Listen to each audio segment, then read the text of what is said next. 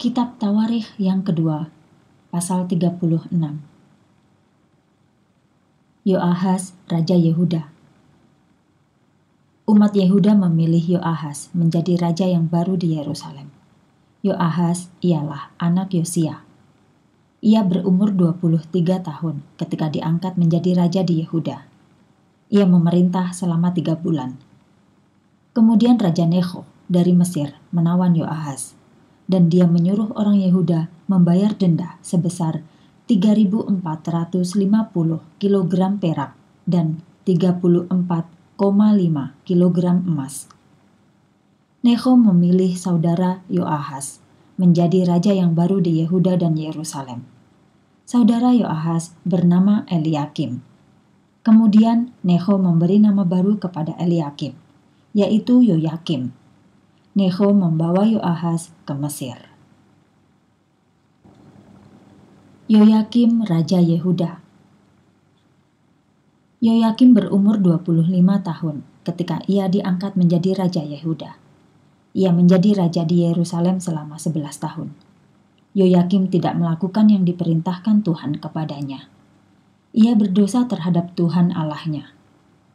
Raja Nebukadnezar dari Babel menyerang Yehuda ia menawan Yoyakim dan mengikatnya dengan rantai perunggu.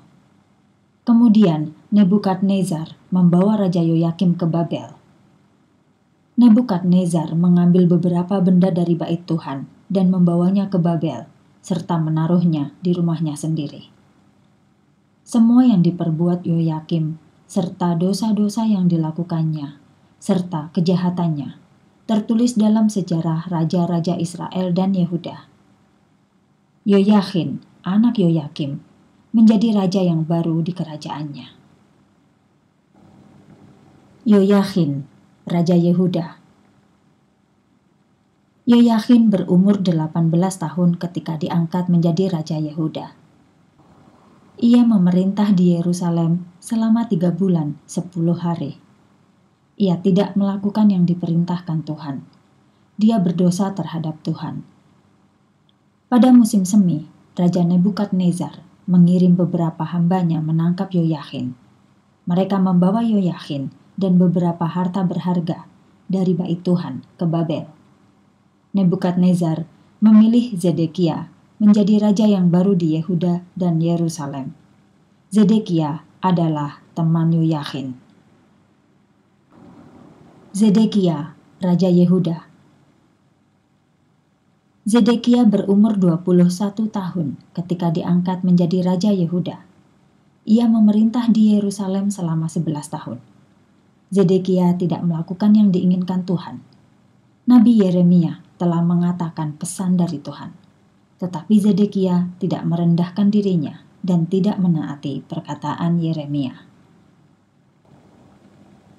Yerusalem binasa Zedekia berbalik menantang Raja Nebukadnezar. Sebelumnya, Nebukadnezar memaksa Zedekia berjanji untuk setia kepadanya. Dengan memakai nama Allah, Zedekia berjanji setia kepada Nebukadnezar. Namun, Zedekia sangat keras kepala dan tidak mau mengubah hidupnya dan tidak mematuhi Tuhan Allah Israel.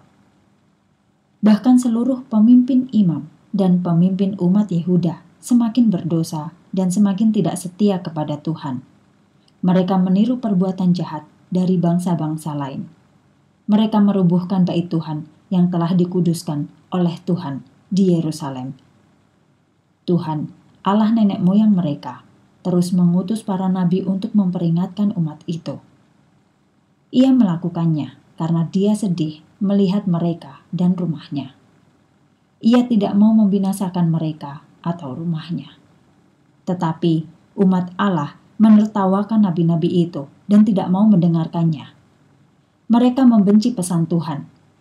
Akhirnya, Allah tidak dapat menahan amarahnya lebih lama lagi.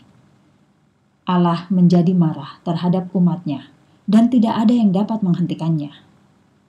Jadi, Allah mengirim Raja Babel menyerang orang Yehuda dan Yerusalem raja tersebut membunuh orang muda dengan pedang ketika mereka di dalam rumah Tuhan.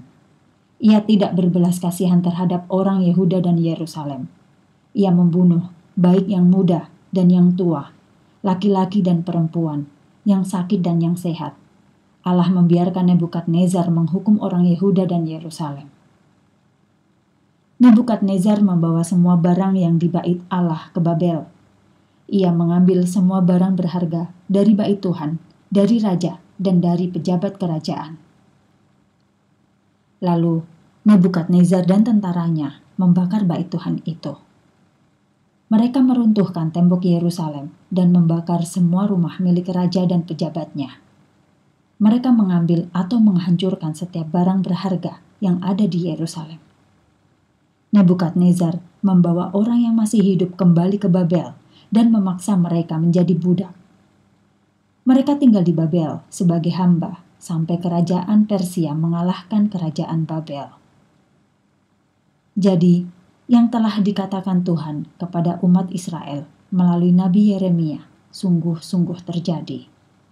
Ia berkata melalui Yeremia, tempat itu akan menjadi kosong selama 70 tahun.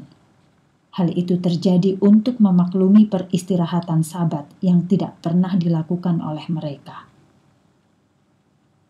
Pada tahun pertama Koresh menjadi raja Persia, Tuhan menggerakkan hati Koresh untuk membuat pengumuman. Koresh menulis pengumuman tersebut dan membacakan di seluruh kerajaannya. Hal itu dilakukan supaya firman Tuhan yang disampaikan melalui Nabi Yeremia sungguh-sungguh terjadi. Inilah pengumuman tersebut. Inilah yang dikatakan Koresh, Raja Persia. Tuhan, Allah di surga, mengangkat aku menjadi raja seluruh bumi. Ia memberikan tanggung jawab kepadaku membangun rumahnya di Yerusalem.